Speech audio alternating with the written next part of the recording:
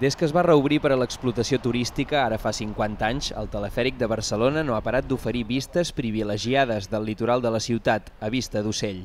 L'itinerari d'uns 10 minuts de durada, entre anada i tornada, uneix la platja de la Barceloneta amb la muntanya de Montjuïc i és un dels atractius més fotogènics de la ciutat.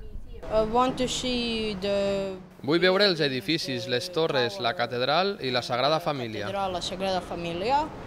He estado muchas veces en Barcelona y nunca me había montado en el teleférico, entonces espero ver una vista aérea y diferente, ¿no? Como un poco tener la sensación, creo, de, de estar flotando por encima de Barcelona. Me gustaría ver lo que es la- las Ramblas, no sé si se ven exactamente desde aquí o no, pero me gustaría ver esa parte. A l'estiu, més o menys poden venir unes 2.000 persones cada dia, sobretot al cap de setmana. I el tipus de gent, el 90-95% són estrangers. Gent d'aquí, venim però, però menys. La línia es va construir el 1929 en motiu de l'Exposició Universal de Barcelona i durant la Guerra Civil es va tancar per utilitzar les torres per a la defensa antiaèria de la ciutat. Gairebé dues dècades després es va rehabilitar per obrir-la als turistes. absolutely spectacular views over the over the house. Les vistes sobre el port són espectaculars. Si mires a baix, pots veure l'hotel i la Sagrada Família. La vista de tota la ciutat és impressionant.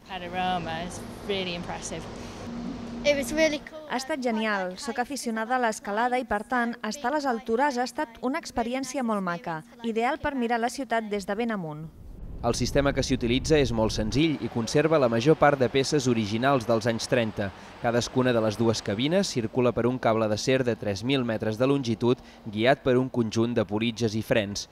Des d'aquesta cabina es controlen tots els indicadors de seguretat per detectar si hi ha massa vibracions o si la velocitat en cada punt és la correcta. Antes la excitación del motor hacían contactos. Era una- un volante que se iban dando, se iba girando y a medida que se iba girando iban encastrando contactores y entonces se daba la velocidad al motor.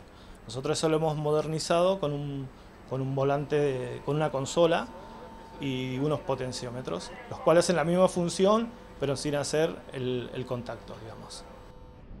El telefèric del port fa actualment 71 viatges diaris entre els dos punts del recorregut i obre tot l'any. Això sí, menys els dies de mal temps amb llamps o vents forts si es preveu que puguin posar en perill la seguretat dels passatgers.